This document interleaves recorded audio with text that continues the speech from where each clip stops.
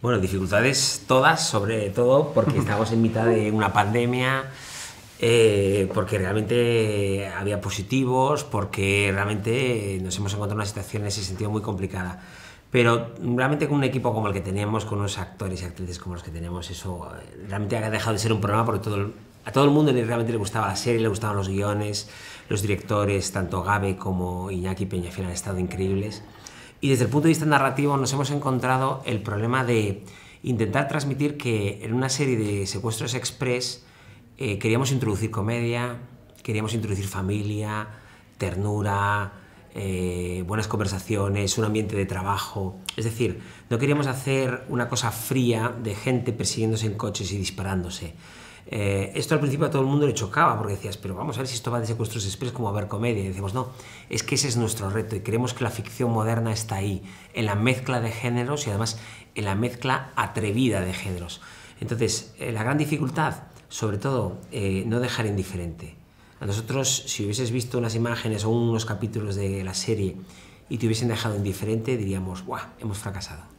Bueno, realmente el concepto ya de Express sí que daba, y de ese equipo Express es, un concepto un tanto ecléptico, porque es verdad que, son personajes muy diferentes que, que, no coincidirían en ningún sitio. Eh, pero bueno, ¿cómo ha sido el, encajar a los actores con los personajes? Es que cuando te, te, rodeas de gente con talento eso es muy fácil. Eh, a nosotros siempre nos ayuda, desde el punto de vista de guion, siempre poner una cara al personaje del que estás escribiendo, porque siempre eh, le juegas a favor, ¿no? Eh, conoces un poco cuáles son sus características y cuáles son sus cualidades y, lo, plasmas luego en los guiones.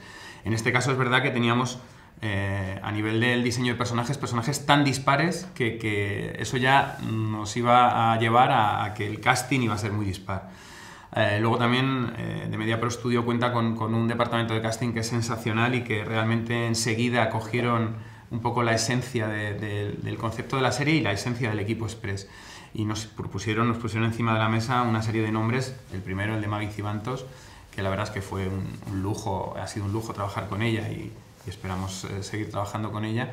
Eh, y luego todo todos los actores que rodean a, a, Maggie Cibantos, al personaje de Bárbara en ese equipo Express, la verdad es que todos los actores tienen un talentazo y algunos eh, con menos experiencia eh, por, por, por, edad y por tener menos, menos eh, background en sus espaldas, pero también nos han sorprendido mucho. Así que realmente ha sido, quizá no ha sido tan complicado porque cuando ves que hay gente con talento, enseguida eh, se han hecho con los personajes y han creado esta pandilla, que es como nosotros denominamos nuestros guardianes de la galaxia.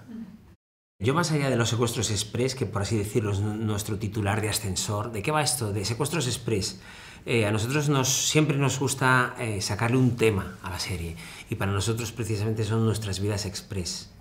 Porque las entrevistas son de cinco minutos, porque la comida es express, porque los matrimonios son express, porque el sexo es express, porque vamos corriendo por la vida eh, como pollos sin cabeza, ¿no? Y incluso más allá de eso, ¿a dónde va todo ese tiempo que se supone que ganamos haciéndolo todo deprisa?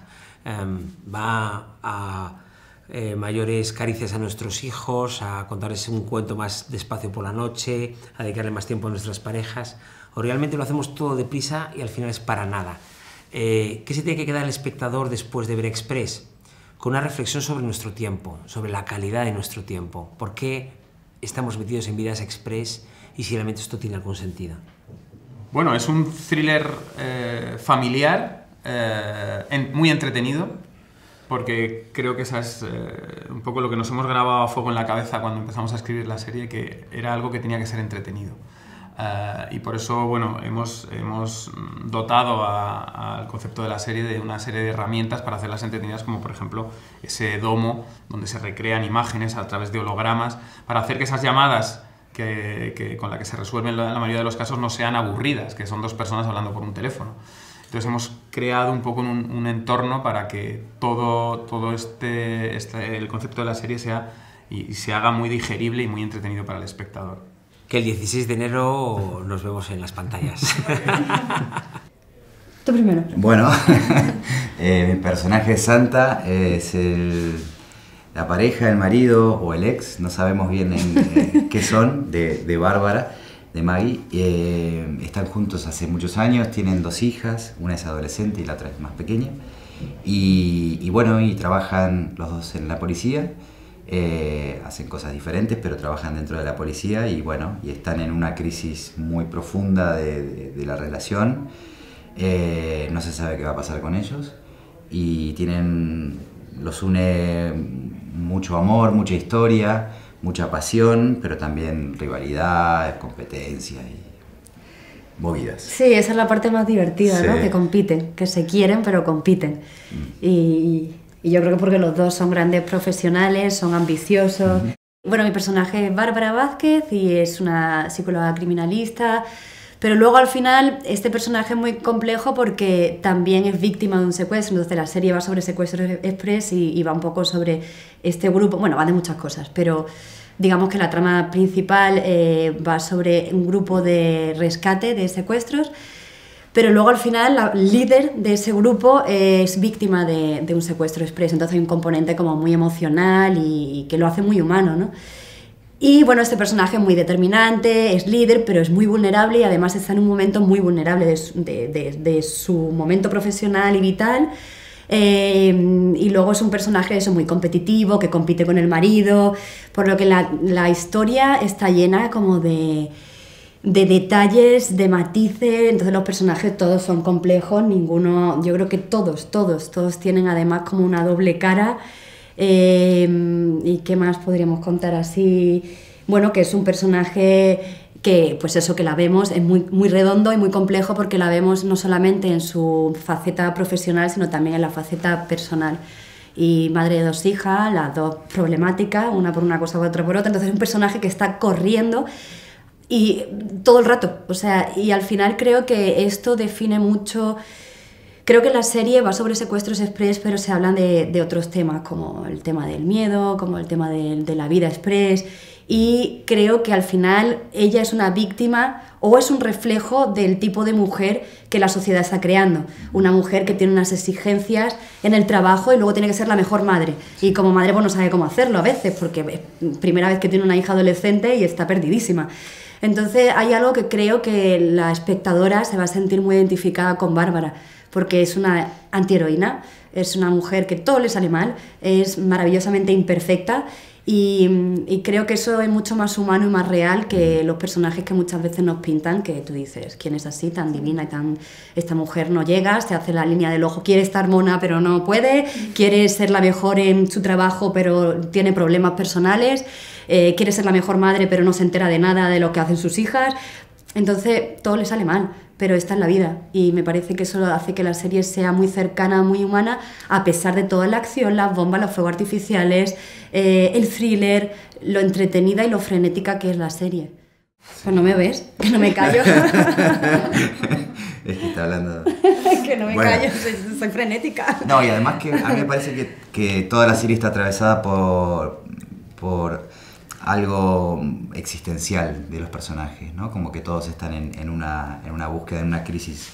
Creo que esto del tiempo, del, rollo del tiempo, de, que tu vida puede cambiar en, un instante y de, la mentira del tiempo y de todo lo que nos han vendido, creo que va muy profundo. Y por eso esto que decía que no es solo una serie de secuestros, creo que lo de los secuestros es como el disparador, es como la excusa para hablar de, bueno, de las relaciones de, los seres humanos y de, mm. y, de, esto, y del vínculo con, este sistema en el que estamos viviendo.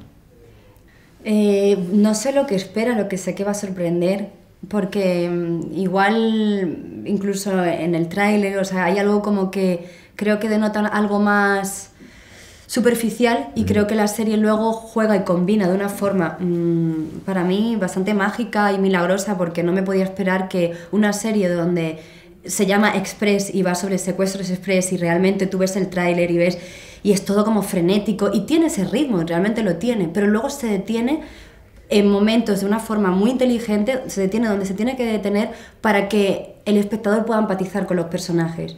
También hay una fórmula que creo que funciona muy bien, que es el tema de las terapias. Las terapias de una forma muy eficaz colocan a los personajes en la psicología del personaje, entonces el espectador rápidamente sabe dónde están estos personajes gracias a esas terapias, gracias a que los ves en su momento más eh, vulnerable o más íntimo. Y de alguna manera creo que eso hace que el espectador empatice y enganche desde el minuto uno con, con los personajes. Entonces, esa combinación de la acción, de lo más frenético y, entretenido, con la otra parte un poco más profunda y más eh, de esa complejidad de, de, los personajes, creo que esa combinación, a mí, cuando yo leía los guiones, digo, pero ¿cómo vamos a hacer esto? ¿Cómo es posible? Y cuando he visto el resultado me ha sorprendido que, bueno, me ha sorprendido, confiaba en el equipo, pero era algo que me parecía un reto, me parecía algo complicado y creo que está muy logrado. Y entonces creo que eso es algo que va a sorprender al espectador. Qué difícil. Emoción, creo que es una serie emocionante, creo que es adrenalina y, y creo que hay mucho corazón. Eso, sí, amor, corazón. Y familia. Claro. También se habla de la familia, y no porque sea una serie familiar, sino porque la serie al final habla de la familia. Creo que tiene como esta cosa de, bueno, moraleja, eh, bueno, no moraleja, pero eh, como esa tesis, ¿no? De, que al final, donde merece la pena detenerse es en la familia. Pero no desde un lugar romántico de la familia, sino desde lo inevitable, que es la familia está y, y, se impone todo el tiempo. La realidad. Sí, sí, sí. sí, sí, Yo creo que claramente soy la, la villana, ¿no? De, de, la serie. es un personaje muy interesante, con un mundo interior de manipulación mental muy, muy potente y con una apariencia pues, como todo este tipo de, de tiburones y, iba a decir ballenas, no ballenas, en este caso, que, están todo el día pensando a ver dónde pueden conseguir dinero, poder, no sé qué, y, y pasan por encima absolutamente de todo. Y todo con una apariencia estupenda y exquisita. Entonces está muy Y luego hay una parte de ese personaje que los guionistas les interesaba mucho, que en relación, eh, la relación con, con Bárbara hace que, que surja, y con su familia, hace que surja una parte de la humana buena, porque ser malvado también es ser humano, desgraciadamente, ¿no? Entonces, eh, bueno, ahí hay un contraste que se irá viendo a, través de los, de, los, de los, distintos capítulos, ¿no? como, como viene ese mundo también, un poco un, humano, un, un, ser humano un poquito más aceptable. Bueno, yo creo que Dulce es un poco a la contra. creo que es un personaje bastante, es una persona discreta, está siempre como en un segundo plano, igual que sus drones. Creo que es alguien que está más por detrás. Eh, también una persona tal vez un poco solitaria, eh, con una especie de, coraza que hace que no muestre al principio muchos sentimientos o que no, no, sea, no sea tan fácil entrar en ella. Y luego veremos por qué. Eh, y bueno, creo que es una persona bastante inteligente y, y con mucha necesidad de pertenecer a ese grupo, a ese equipo, de pertenecer a una familia. Todos, todos los seres humanos, todos los actores, a pesar de que cuando somos jóvenes nos, nos defendemos de los malos, que no queremos hacer de malos, siempre buscamos una parte así. En, en, nuestro interior, el ser humano tiene la capacidad de maldad mayor y de bondad mayor que hay, ¿no? O sea, que, que en ese sentido algo siempre hay. Bueno, yo soy incapaz de manipular a nadie para conseguir dinero, por ejemplo. Eso no, no tengo nada que ver con ese, personaje, o poder en este caso, ¿no? También además de dinero.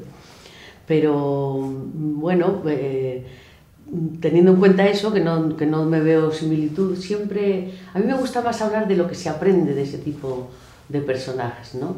Y a mí, por ejemplo, me viene muy bien, como soy muy, me, me desboco enseguida, me, viene muy bien ver que hay personas que pueden como controlar eh, esa energía que excesiva que a veces yo tengo y me hace decir muchas tonterías, claro.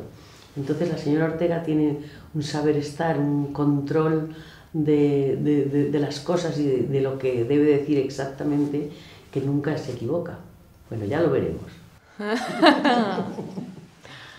bueno, no sé, igual un poco por la línea que, habla Kitty, eh, más que parecidos, bueno, evidentemente todos los personajes tienen algo nuestro, ¿no? Porque los estamos interpretando nosotros, o sea que algo tendrán. Pero mm, creo que, por ejemplo, Dulce, lo que con esa coraza que tiene y no muestra sus sentimientos es absolutamente opuesta a mí, a mí me lo ves todo a la primera de cambio. Entonces, bueno, también hay veces que está bien como generar un creo que está bien, o a lo mejor es porque como yo siempre me muestro, ¿no? Necesario poner una pequeñita barrera y, y saber cuándo puedes abrirte y cuándo no. Mm. Y creo que Dulce sabe con quién puede abrirse y con quién no. Y a lo mejor de esto puedo aprender yo también. Bueno, me parece que ninguna. Bueno, la relación es que trabajé con Maggie en otra serie, pero nada más. Creo que es una serie bastante original, ¿no? Eh, puede que el tema, el tema mm, mm, que en, en, España no es una cosa tan... No sé si estamos dando ideas por lo de los secuestros express. Ya, no, espero que no. No es una cosa que es, que es tan... Habitual como en otros lugares, ¿no? Sí. ¿no? y es bastante original, técnicamente está muy bien solucionado, es muy creíble y me gusta mucho además como la mezcla, la mezcla que hay de, de la parte como cotidiana de una mm. familia y, con, con, es, con, el, con, el, speed ese tremendo que hay de, frenético de, de, lo que es la acción, que es también trepidante, eso, mm, esa mezcla me, me parece muy potente. ¿no? Muy potente. Sí, porque mezcla incluso comedia, o sea, de repente tienes puntos, ¿no? Y, y, tiene como muchos ingredientes, mucha, mucha mezcla, y para mí es totalmente diferente a todo lo que he hecho hasta ahora, desde luego. Personajes muy diferentes, hay mm. muchas mujeres. Sí, muy importante. que está muy bien, sí. porque tenemos todavía mucho que decir, hasta ver si se iguala un poco, tenemos que ver lo mal, lo mal que va el mundo para ver la necesidad de que haya no solamente en en nuestra profesión y en las series, que, que se equilibre un poco eh, esa cantidad de personajes femeninos, sino en, la, en, el mundo en general. ¿no? Sí, también en, el tipo de personajes, ¿no? Que, que, que, de repente aquí tenemos una líder y una jefa, dos jefas, una de la empresa y otra del equipo, las dos mujeres. Yo creo que el público siempre quiere pasarlo bien, divertirse, que le interese. Sí, y que le sorprendan, ¿no? De alguna manera, yo creo que está... Y en esta, en esta serie hay bastante sorpresa y bastantes cosas ocultas que se van desvelando. que se van a ir viendo poquito a poco. Eso siempre mantiene al espectador con una, una sensación de, de, engancharse, que es lo mm. que se interesa hacer, enganchar al público, ¿no? Wow, a ver. ¿eh? Ritmo. Ritmo, sí. ¿Verdad? Sí. Ritmo es una de ellas. Eh, eh, también humanidad, ¿sabes? Humanidad. Y, y, diversión. Y actualidad. Bueno, es que te podemos decir un montón. En realidad te pones a pensar. Sí, porque diversión también, pero drama también. Sí, muy completa. El, eh, eh, sin ser una tragicomedia que no lo es, tiene esos componentes ¿no? que, hay, que es tan antiguo para el ser humano que, que, que es la vida misma, donde, donde tú puedes ver cómo de pronto estás echando una risa tremenda y, y hay algo que te, que, te, mm. que te, arranca un poco el corazón en ese momento y te pone un nudo en la garganta y esta, esta serie tiene momentos estupendos de esos también, o sea, es muy,